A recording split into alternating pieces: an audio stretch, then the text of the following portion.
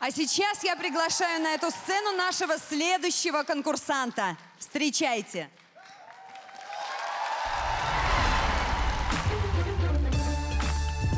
Александр Панайотов, номер 15. Очень любит изысканную музыку, соул, фанк и джаз. В своем творчестве старается следить за музыкальной модой, но поет прежде всего о любви. Неоднократно участвовал в отборочных конкурсах песни Евровидения и каждый раз занимал почетное, но, увы, второе место.